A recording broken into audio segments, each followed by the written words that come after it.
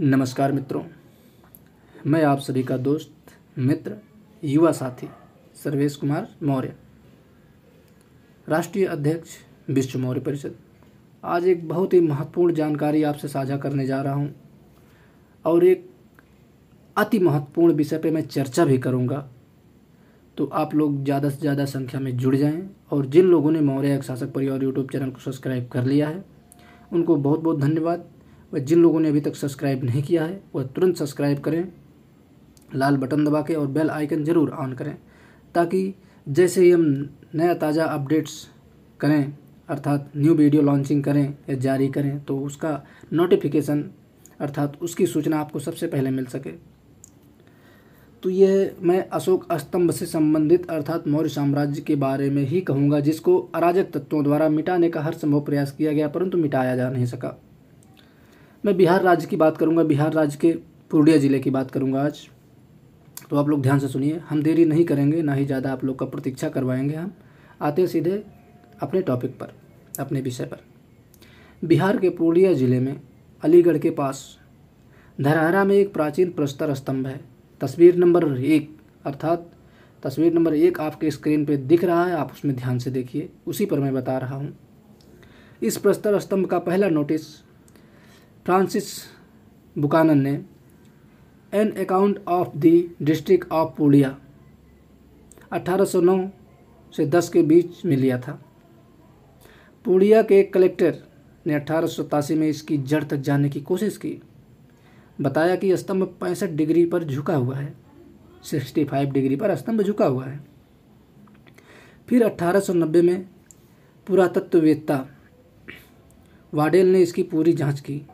लिखा कि इसकी लंबाई 19 फीट 11 इंच है, जिसमें साढ़े सात फीट ज़मीन के ऊपर है। वाडल ने आगे भी बताया कि इसकी परिधि तीन फीट है।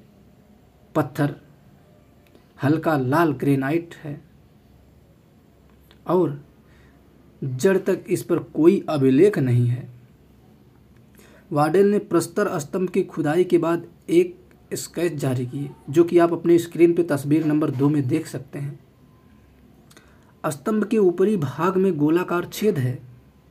छेद में संभवतः स्तंभ का शीर्ष भाग लगा होगा, जिस पर कोई मूर्ति बनी होगी।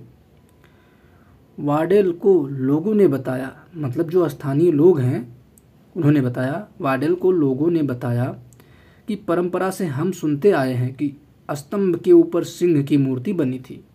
कई सौ साल पहले उसे हटा दिया गया। अब कहाँ है? कोई नहीं जानता। सबसे पहले एएसआई ने इंडियन आर्कियोलॉजी उन्नीस सौ सत्तावन से अट्ठावन ए रिव्यू में एसी बनर्जी के हवाले से लिखा कि यह अशोक स्तंभ से मिलता जुलता है। इस स्तंभ की सामग्री, परिधि और पॉलिश अशोक स्तंभ की है। तथा वर्तमान में जो स्तंभ मौजूद हैं, वह अशोक स्तंभ का ऊपरी हिस्सा है। इतिहासकार उपेंद्र ठाकुर ने अपनी पुस्तक हिस्ट्री ऑफ़ मिथिला में इसे मौर्यकालीन स्तंभ बताए हैं। फ़िलहाल इसे प्रहलाद स्तंभ बताया जाता है और कहा जाता है कि इसी खंभे को फाड़कर नरसिंह अवतार ने प्रहलाद की जान बचाई थी। नरसिंह अवतार का कोई साक्ष्य तो नहीं मिलता है, लेकिन नरसिंह में छुपा हुआ सिंह इशारा करता है कि कभी इस पर सिंह की मूर्ति हुई थी जो अशोक स्तंभ की निशानी है। मित्रों, आप लोग ध्यान से देखिएगा और अपनी अपनी प्रतिक्रिया कमेंट बॉक्स में दीजिएगा। हम किसी धर्म या किसी समुदाय का विरोध नहीं कर रहे हैं, जो सच्चाई है, वही कह रहे हैं। क्योंकि यहाँ पर कई कपोल कल्पित कहानियाँ गढ़ी जाती हैं, जो पुराने हिस्ट्री को दबाकर एक नया दास्ता लिख दिया जाता है। तो हमारा ऐसी वीडियो बनाने का ध्येय यही रहता है कि सच्चाई से अवगत करा सकें सबको, सच्चाई दुनिया के सामने ला सकें। हम किसी के भावनाओं या किसी के धर्म संप्रदाय को ठेस नहीं पहुंचाना चाहते, ना ही हमारा ऐसा कोई उद्देश्य है।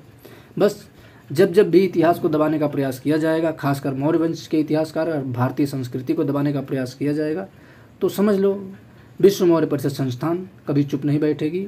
मौर्य शासक परिवार यूट्यूब चैनल के माध्यम से, अपने श्रोताओं तक, अपने समाज तक, अपने दर्शकों तक हर एक जानकारी हम साझा करते रहेंगे।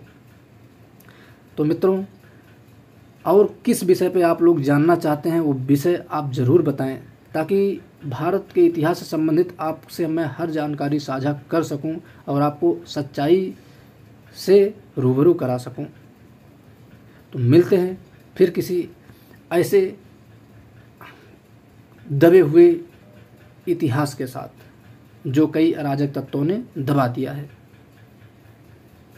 तब तक आप सभी लोग हँसते रहिए, मुस्कुराते रहिए, अपने बड़े बुज़ुर्गों का सम्मान कीजिए, अपने परिवार के मुखिया के सानिध्य में रहना सीखिए। मुखिया के सानिध्य में रहेंगे तो ज़्यादा नहीं, बहुत ज़्यादा बेहतर होगा। तब हर जगह आप विजय प्राप्त करेंगे और अपने आसपास साफ़ सफ़ाई रखिए और बच्चों से प्रेम कीजिए। मिलते हैं फिर नेक्स्ट वीडियो में। तब तक के लिए सत्यमेव जय।